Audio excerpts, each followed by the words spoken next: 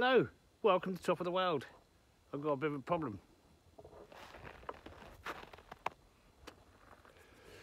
It's electrical, I think. So I was out in the forest picking up and uh, went to start the snowmobile, wouldn't start. Turned the key a couple of times and it just started. And uh, I thought that's strange. Probably best I don't turn that off anymore. And I wasn't that far away, but I didn't turn it off. Picked up everything I needed to pick up, come back here. So, because I think it's electrical, we need to do some electrical testing. So I've taken off the airbox and I'm down to the battery. I've gone and got the test meter. and the problem is with the engine start stop out, there's nothing on the key at all. The first thing we're going to do, check the battery. Make sure I actually have some power to the battery. Yep, 13 volts. Okay, so we got a couple of small fuses down here. Let's check those.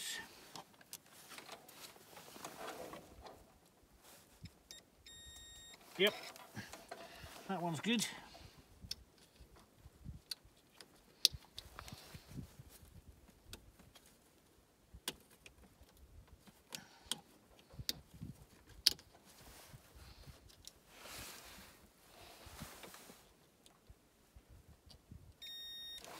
And that one's good. Okay. And my terminals are tight. We've never had an electrical problem on this before. Okay, we've got some fuses.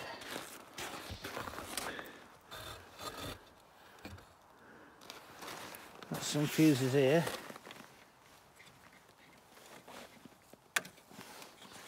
I'm not even going to pretend I understand what all of these do. Oh, they're, they're spares. Ignition, 15 amp. Okay. Let's check these fuses in. Let's check the ignition one first. Good. Good. Yep. Yep.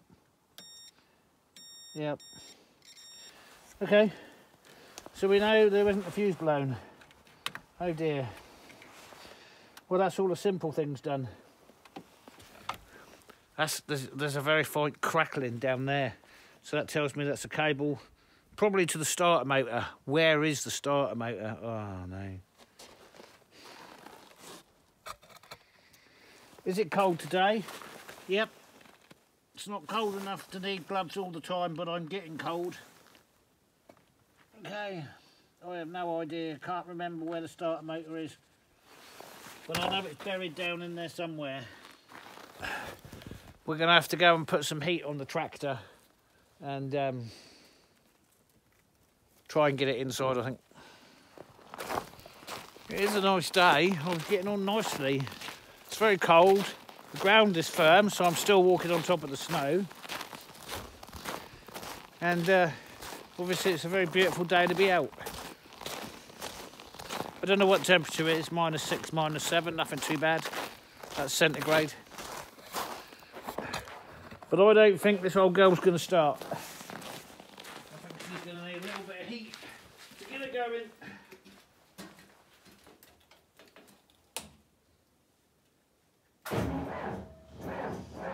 No chance. No chance, no chance, no chance. Plug her in.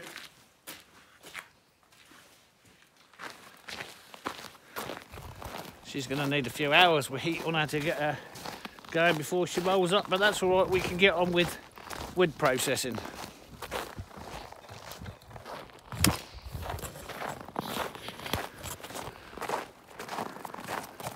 So what we were doing here, before we had our day ruined,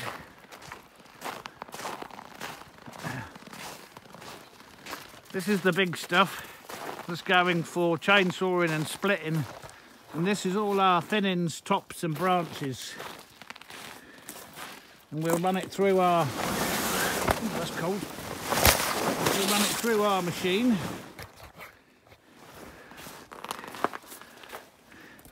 And then anything that's a certain size goes straight into there and everything else goes into there.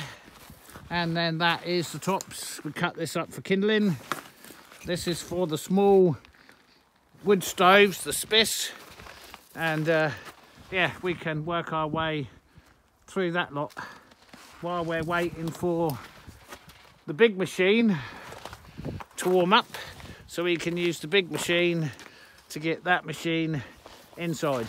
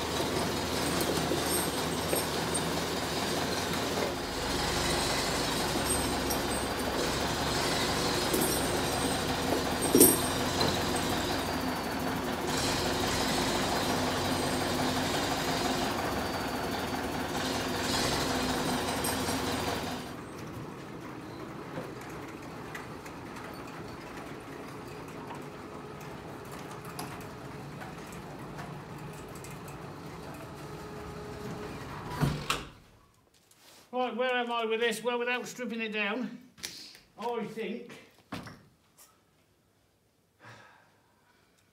I don't think it's solenoid. Could it be the starter? Could be the starter. Is the starter jammed? No, I don't think so. So, we do know it's electrical, and we're expecting it to be the starter, because I don't think it's a solenoid, but it might be the solenoid, but we know it's not a fuse, and we know it's not the battery. So we're going to take this apart now and crack into it. So I done the obvious, but I done the obvious when I was in the yard, and that was to arc the two um, sides of the starter solenoid. But it arced up as if I was touching both terminals of the battery, like like it was shorting out on one side. So then what I've done, because I couldn't make any sense out of that, I've removed this from the starter relay. And to make sure everything is right, put that in the dead side of the starter relay. Okay, let me show you there. Right, so this terminal, this is the lead that goes to the starter motor. Right, that should be bolted onto there like that. Right? And you should be, to test whether the relay is not working, just be able to arc those two together. Right, with a screwdriver or a spanner I used. Lots of sparks. it was if this was earthed out. Well, it can't be, right? Because when you turn the key, that sends 12 volts of power or 13 volts of power to that, which sends it down this cable, and that throws the starter motor and turns the engine. No, that's not what's happening. It's arcing out in a big way. So just to prove my point, what should happen is when you turn the key on this, right, you should get full power out of there. And you'll see from my meter, where is my meter? Put my meter there. Take the emergency stop off. Put that in there. Put that to there. Turn the key. Nothing. Dead. So that tells me the starter relay is not working, but the fuse is good. Okay. But I still weren't happy with the arcing. So I did this. I turned my meter to give me a circuit. Okay. I put this on here, which is a positive lead. And then I touch it to ground. And I've got a circuit. Touch it to the body. I've got a circuit. And there's no way should I have a circuit. So we know that either this cable is damaged and there's earth in between here and the starter or the starter is US because we should not be getting a circuit on a positive lead to the starter motor. And we also know the starter relay is not working. So there's two issues. The starter relay is not working and I've got an earthing socket on my positive cable to the starter motor. None of that is good. None of that means it can get fixed today, maybe not even tomorrow. And all of that is going to involve a cost. So if the armature's gone in the starter motor, the starter motor is thrown away. If it's brushes or something else gone in one end, then I can maybe, possibly repair it.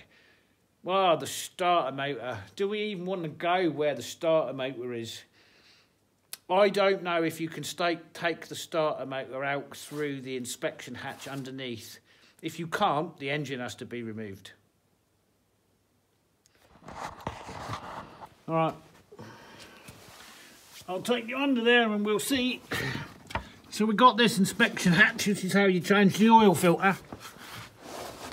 Underneath and up there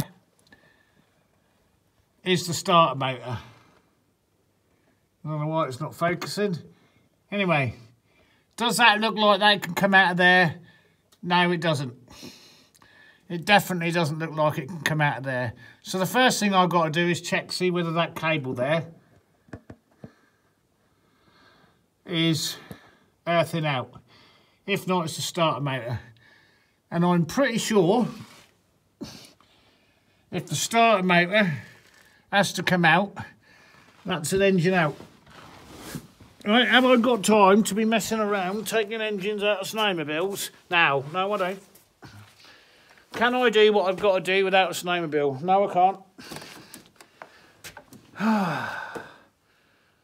anyway, it's now 16.30. I've had a gutful today. I started really early because I wanted to get... Anyway, it doesn't matter. Because now we're... Broke again. I hate that thing, I do. I really do. Horrible thing. Most unreliable machine I've ever owned. And in a different world, I'd have set fire to that. Okay, so what do I know? Hmm. So what we've discovered conclusively is the starter motor has gone to ground. Right, so we know that's no good. And that starter relay is no good. So uh, we have um, a snowmobile breakers not a million miles away from here, certainly within two hours drive. So off I go to see this uh, snowmobile breaker. He doesn't have the starter motor or the solenoid for this or anything. I have to go to, reluctantly, not because I don't want to, just because of the cost, the Yamaha dealer, which I know quite well. We bought this particular machine from them and all the parts for it when it breaks, which is annually. Anyway, interestingly enough, the man that owns the Yamaha dealer, he doesn't speak a lot of English and my svenska isn't good enough, my Swedish isn't good enough to have a conversation about something I don't talk about. It's not really good enough to order a cup of coffee. Uh, that's not true. Anyway, so without really thinking about it, he was in the shop by himself and he was working on a machine and, and I just start talking to him. And um, so we're talking about this and we're talking about the problems and I, you know, he's asking me what, what's the matter with it and I've explained it to him. And he said, oh yeah, the, the start motor, if it's gone to ground, it's kaput. And uh, as a result of that, that's what's burnt out the relay. So you need a new starter motor and a relay. Okay. So I've done a little bit of research to find that it's not unusual for some of these to have starter motor problems. So I'm talking to him about this, and uh, and uh, you know I said, well, why is the starter motor failed? Why does these things keep breaking? Oh, he didn't know, and then he thought about it. He said, but you use it for logging, you use it for wood, and I was like, yeah. Ah, yeah, he said. What do you mean? Oh, yeah. He said, well, how many times do you start your snowmobile in the course of a normal day? I don't know, 20, 30? And as I'm saying it, it's kind of coming to me. 20 or 30 times, yeah? Yeah? And he said, well, you know, a snowmobile, he said, uh, maybe it started four or five times in a day. He said, but you can start yours four or, four, four or five times just picking up one tree. Well, and that's true, and I'll explain why. When you drop a tree and you drop it in line, usually I drop it next to the snowmobile track. I then cut it up into sections that I can lift and put it on the sled. And then I go back and I start this and I draw alongside the first section, turn it off, get out, pick that up, get back on, start it, move it along. So I can actually start this five times, picking up just the main sections of the tree. And I've usually dropped a number. Can I start this 10 times just loading log sled? Yes. Is the truth behind that? Yes, I can. And then that's just picking up one load. I'm doing four or five loads a day. Then there's a starting in the morning and then there's the starting and the stopping while I'm walking around and having a look, and I don't think about it. And the reason that you start and stop these specifically is the radiator for the water cooling is very small. You can see it right there. This is the radiator. It's tiny because it's a snowmobile. It's designed to run in the cold. It just is. Do I have any problem starting this in any temperature? No. No, there's no heater to it, there's no preheat. There is no issue starting this in the winter. However, it does tend to overheat, and I don't mean overheat as in get hot. The fan starts running and blah, blah, blah. And it, it just, and the battery's good, so you just stop and start. It's really easy. You just flick the button and it just starts. Does that mean that I could potentially use a lifetime's worth of starter mate. I mean, it is a 2006 model, so it's done well. Anyway, so so he wasn't surprised when he kind of thought about it and realised what I was doing. Uh, many men that use these for working, for logging, they do the starter, starter motor burns out. And for whatever reason, where it burns out in the armature, it goes to ground. Well, I'm not quite sure there because I haven't opened it up. I will. And then, of course, that burns out the starter relay. So then my next question, since he's a Yamaha mechanic, was the hole where the starter motor comes out of is really small. Do I need to undo any of the engine mounts or can I get it out of the hole if I take the oil filter off? And he said, yeah, it's tight, it comes out, it, it's no problem. So, my next course of action is I have already drained the oil. And I've got to tell you, considering I did an oil change, I don't like the looks of that very much. It also smells, hmm, smells a bit burny. Anyway, so I've drained the oil, so we're going to put the pipes back on there. I've already got out the oil filter. I've removed that. And I've removed the battery. And I've removed the starter solenoid. And I've removed the cover housing there. And the air box. And that's the battery top. So we are left with the battery out. The solenoid out. Which goes in there. And the oil drain down. I'm going to put the pipes back on. And then what I'm going to do because I don't really want to be lowering on my back and working through this tiny little hole. I'm going to roll her over on her side. And that'll give me good access. Whip the starter motor out. I did order a new one. We don't even want to discuss that. And uh, if the gods are with me, it'll arrive today and I can drive to town and get it. And then we can fit this because it's Friday and I missed such a good period of, of weather this being down. Anyway, yeah, that's what we're going to do. Now, I've got an axle stand and the pallet, that will stop it from rolling this way. And there's a strap there, and that stops it from going that way. And it's at its tilting point, so there's no pressure in either direction. But what that does do is allow me much, much better access to the underneath. And that specifically is what we're looking at. That very small out there. So the oil filter's been removed, the oil filter sits there. That there is the starter motor. This, in order to remove the starter motor, you have to remove this cable, that one, and then you have two bolts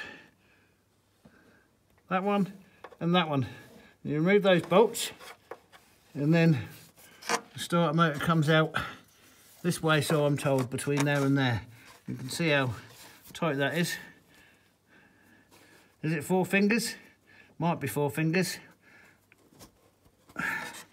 Anyway, there we go. Okay, so I've taken the, the cable, that's the power cable, off of there and I can't get anything in here except an ordinary spanner. The first nut came out really easy. The second one undone really easy. But I can't get both hands in there. So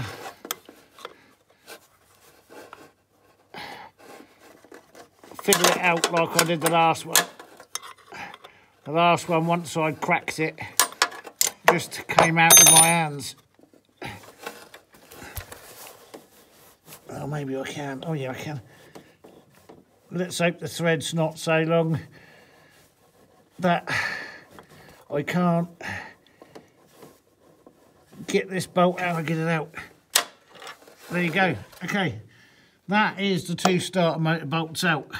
Now then, now we find out how easily this starter motor is going to come out.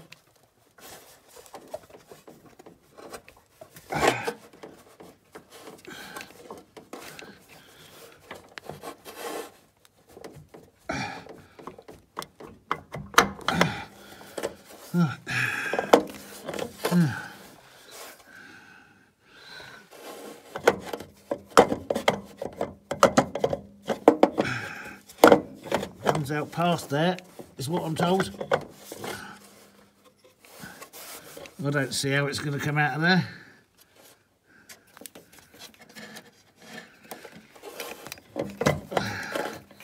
I'm not seeing how that can come out of there.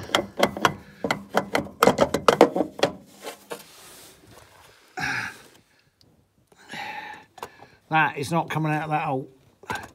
I was assured, as fiddly as it is, that it would come out.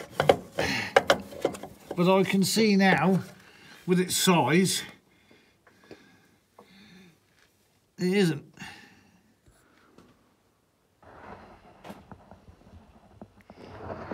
Now,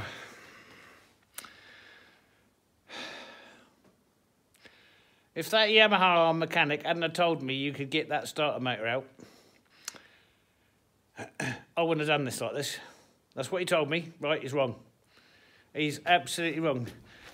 I would never have tilted this machine up like this to take that starter motor out if I'd have known I've got to either remove the engine or move the engine. So, first thing we're going to try is taking, take the front engine mounts out and lever the engine back. That's the first thing to try. So in order to get the front engine mounts off, we have to take the hood off, which I wish I'd done before I'd done all that. Then we need to take out the battery carriage, which is bolted in here, which has the ECU bolted to it. It's bolted at this end and this end. So four bolts, or six bolts actually, seven bolts. That'll take out that front carriage. And then the engine mounts are different on two sides. This is this side. The engine mount bolt has to withdraw that way. And on this side, we actually see it better once the battery carriage out. It has to withdraw that way. Right, that's the front engine mounts out. All right, that's a real fast job. So that's the battery carriage out. Put the back car battery carriage up there. Okay, so now we're going to remove this bolt here. It's going to come out this way, and then this bolt here, and it comes out this way. I'm pretty sure I don't have to touch any of this. However, I have just seen somewhere we have got an issue. The steering bolt there, right, that's going to not want to be there. I need to move the steering left or right so it misses this steering arm bolt to give me a bit more room, which I can't do because it's sitting on its side, right? So I think we're going to have to put it down to do that. What I should have done is filmed how I done that. Well, I've taken out the engine mounts there and there. And then I fixed a D-ring to this fixing point down here. And then I fixed a strap to itself round there. And I pulled the engine forward as far as I can onto that steering nut. So it's as far forward you can see how out of line here the engine mounts are. Not far, but we don't know how much more room we need underneath to fiddle that starter motor out. What I do know is we've got more room than we had before. I just don't know whether it's enough room. Right, why are you giving me hard time now then?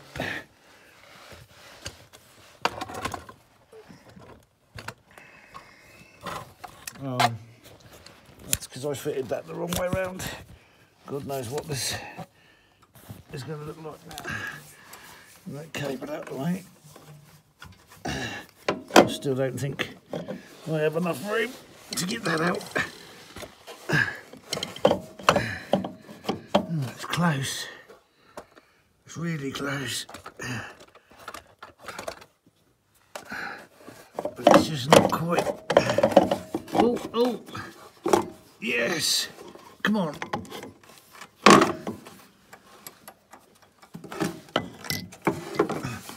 Oh, yeah. Oh, yeah. Oh, yeah, baby. Ah, got it. Well, amazing. Okay, so you can do it. You can do it with the skis straight. And you really only got to do it a little bit. I wish I could show you. That's like um, quarter of an inch on there. You just got to move it. See, solid. It's absolutely solid. Okay. Now, um, my intention is to take this apart to find out what occurred.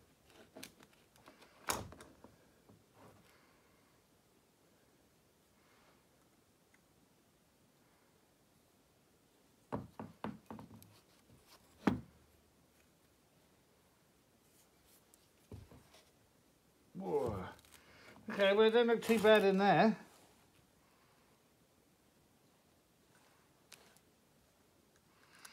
The brushes have, have popped out because uh, I slid the back off. But there's nothing that disturbs me about that.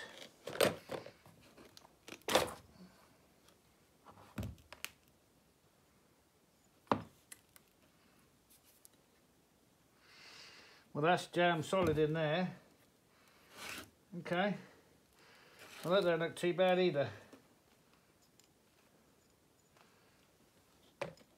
So, what what is the issue here?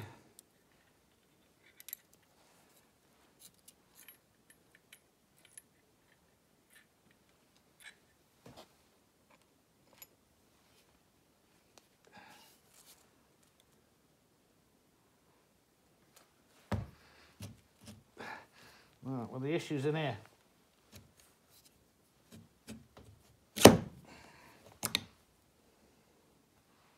Oh. Oh. Okay. Well that all looks quite good. Right. That's good. All of those bits are good. We don't have a problem. The problem is in here.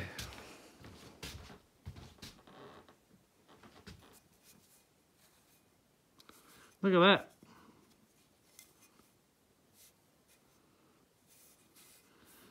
So that's what it should look like. And that's what it looks like. Can we put a light on? Have we got a light now then? Alright, so this is what it should looks like. And this is what we've got.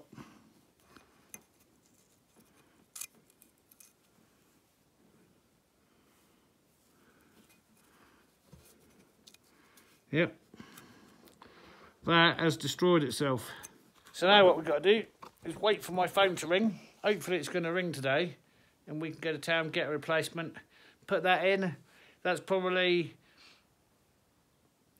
let's call it two hours to put that lot back together, maybe two and a half hours. Does that mean that I could have it running today? I don't know. I don't know, but it depends because we might pick up the part today or it might be Monday, which means we don't have a snowmobile over the weekend and um, it's getting warmer. There's many reasons I don't like coming to town. but the worst of all is every time I come to town, I feel like I've had my pants pulled down. Have I had my pants pulled down this time? Oh yeah, for sure. How do you know I'm in town?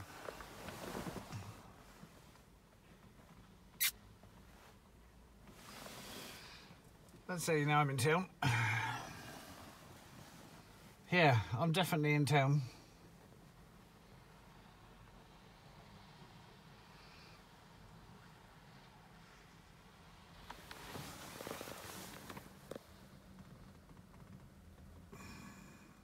I'll show you what I've got when I get back.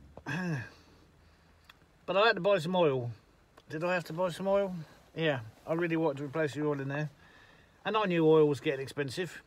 It used to be just cheap. Obviously, we had the experience uh, about 10 months ago when we bought all the different oils for the tractors. And um, I felt like then, you know, I'd had my pants pulled down. Is it cheaper to buy the most expensive extra virgin olive oil and put that in your engine instead of engine oil? Yeah, it is. Not a lot cheaper, but it is cheaper. All right, so by the power of editing, Yamalube. Oh, I should have just got generic oil. Anyway, let's not focus on that. Let's focus on this starter relay.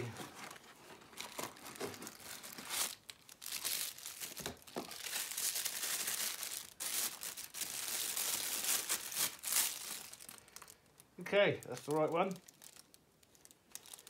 We need that.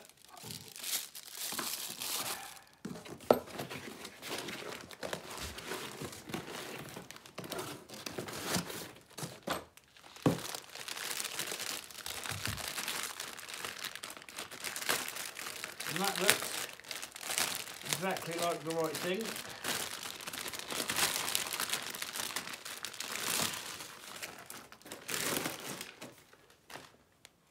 Oh yeah.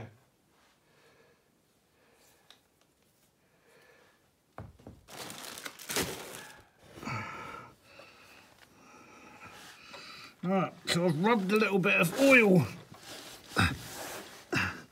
around the rubber seal.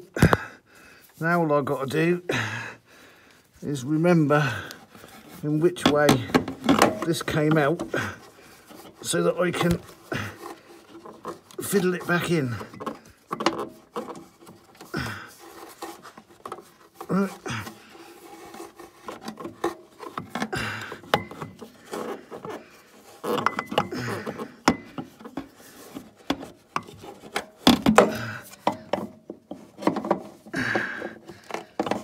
Is that right? Is it?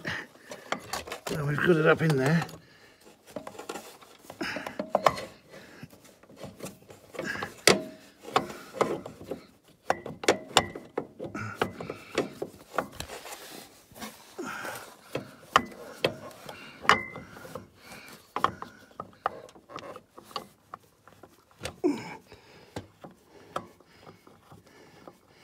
So you just have to give it a little, once you get it lined up, a little push to get that rubber seal to push in. Right, that's the first bolt. Okay, let's bolt it up. So that is the starter motor in. We installed the cable there. Now we're going to put the oil filter on and uh, bolt up this hatch.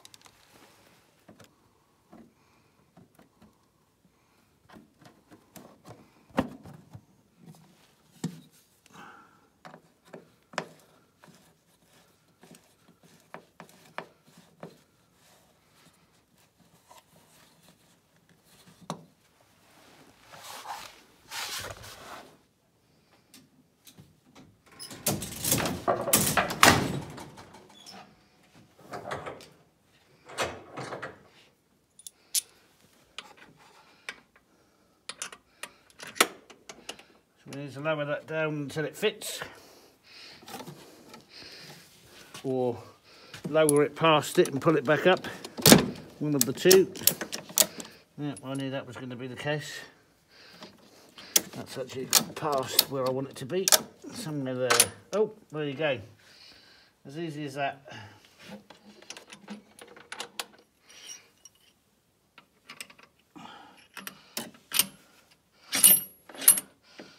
We straight in.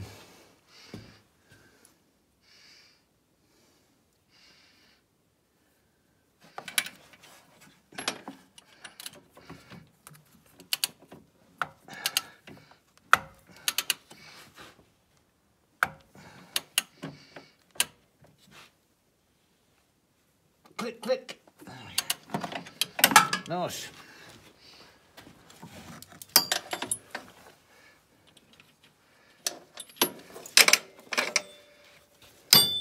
Then remove the small D-ring that I had to hold it into place.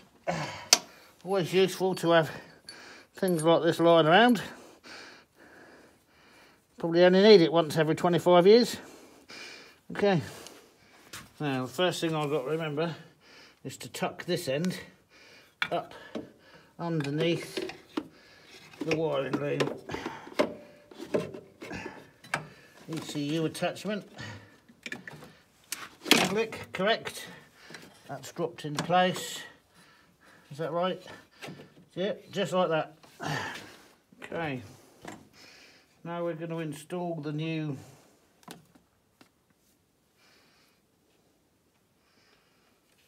starter switch.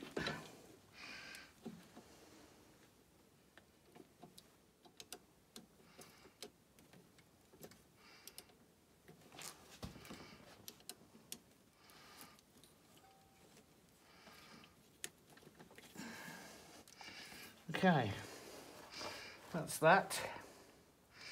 That doesn't go onto that. Where's the, there. That fits onto there, like so. That's that, that fits into there, like that. Okay, I think we're ready for the battery now.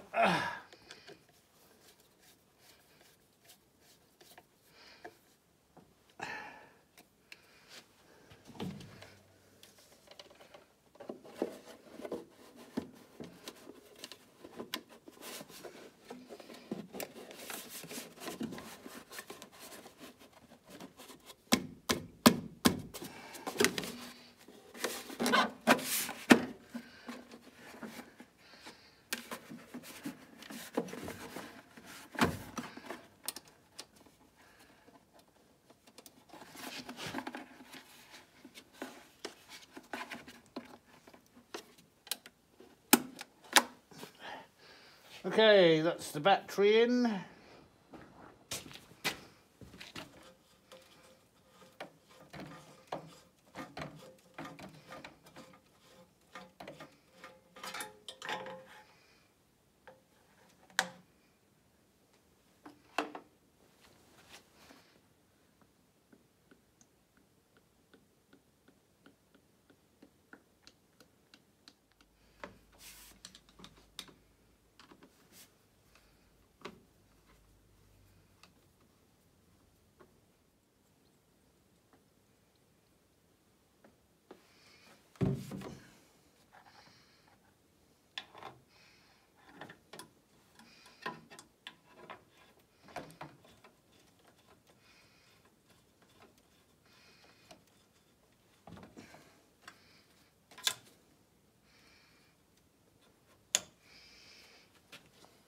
Right, before we do final assembly of the bodywork, we'll just check it I suppose.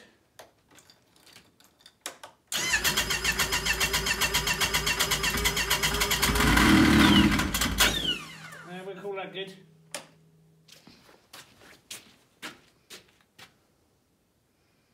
Is that even the right?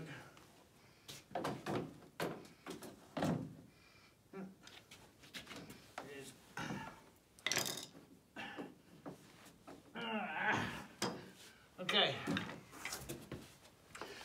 the fight with that.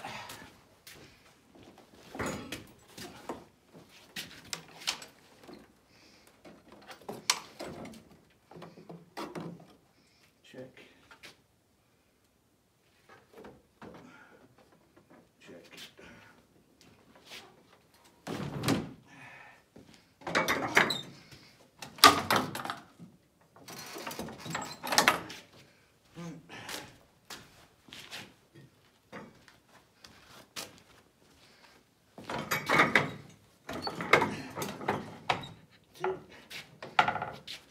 Right, and there we have it. Total reassembly time, 1 hour 37 minutes. That was 2 hours 50 something minutes to take it apart. And uh, I just completely forgot who I'm supposed to be. Ha! there you go, job's a good one. Hour and 37 minutes to put it put it all back together. It was uh, 2 hours 50 minutes to take it apart. So there you go, four and a half hour job. Was it easy? Yeah, it's easy. I just don't like doing it. I'd much rather be out there working than constantly repairing it. I don't know why it has to let me down. Anyway, we can go back to work now. If you like the content, give it a thumbs up. If you're not subscribed, consider it. Doesn't do you any harm. If you were subscribed and you're not seeing me in the feed, just check your subscriptions. Anyway, thank you all for staying with me on this one. We'll catch you on the next one. Bye for now.